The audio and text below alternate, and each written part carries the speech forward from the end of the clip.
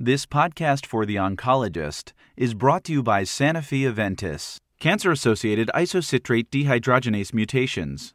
The Warburg effect, which describes the remarkable dependence of tumors on non oxidative fermentation of sugar into lactic acid, glycolysis, was first described in 1926 but only recently, with the discovery of cancer specific mutations in intermediary metabolism, has interest focused on this field as a source of new targets for treating cancer. Metabolic targets derived from this field are likely to fall into three broad classes mutations in normal metabolic enzymes, re expression of fetal isoforms of metabolic enzymes, and dysregulated metabolic pathways within cancers. In the first of these classes, recently discovered somatic mutations in the gene encoding isocitrate dehydrogenase, IDH, have become the most prominent examples of a mutated metabolic enzyme associated with human cancer and offer clear potential as a therapeutic target. The biochemistry underlying the oncogenicity of IDH mutations is particularly instructive. Heterozygous point mutations, which map to arginine residues involved in substrate binding, impair the ability of IDH1 and IDH2 to catalyze the normal conversion of isocitrate to alpha ketoglutarate, alpha Kg, Initially, these mutations were thought to totally abolish the catalytic activity of the enzyme. However, further work revealed that the mutations actually confer a novel gain of enzymatic function, leading to the reduction of alpha Kg to the metabolite 2-hydroxyglutarate, 2-HG.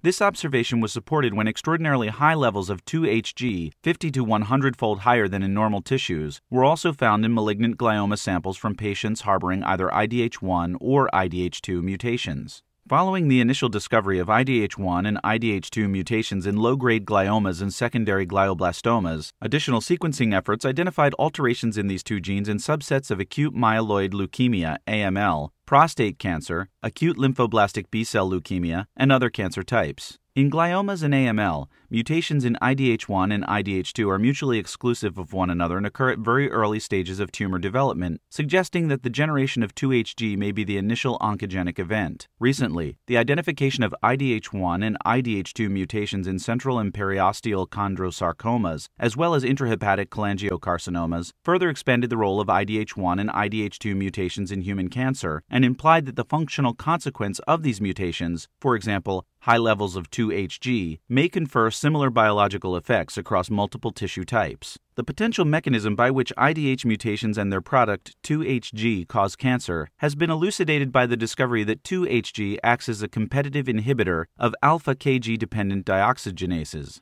Dioxygenases play a pivotal role in demethylation reactions involving histones, nucleic acids, and potentially a diverse group of cytosolic proteins. More than 30 dioxygenases have been identified in mammalian cells. This class of enzyme includes histone demethylases, responsible for modulating histone regulation of gene expression, and the TET family of 5-methylcytosine hydroxylases, responsible for demethylation of DNA cytosine residues and therefore controlling broad patterns of gene expression. It is widely believed that inhibition of these dioxygenases can lead to genome wide alterations in histone and DNA methylation and in fact, hypermethylation phenotypes are seen in both glioma and AML patient samples. Inhibition of two other alpha Kg dependent dioxygenases, prolyl hydroxylases, and collagen prolyl 4 hydroxylase, has been shown to activate hypoxia inducible factor 1 alpha and endostatin expression. Although the precise biological impact of dioxygenase inhibition has yet to be determined, it is highly likely that their inhibition may confer many of the features of malignant transformation and maintenance angiogenesis,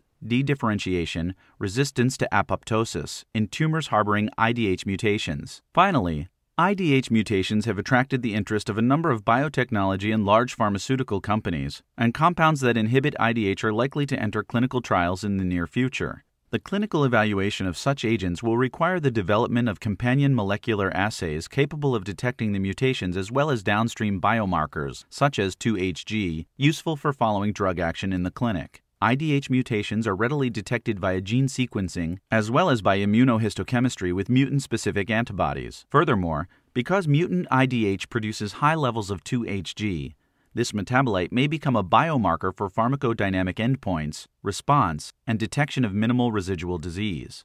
Measurement of 2-HG as a biomarker in tumor and in plasma samples may be useful in guiding clinical trial design with inhibitors of mutant IDH.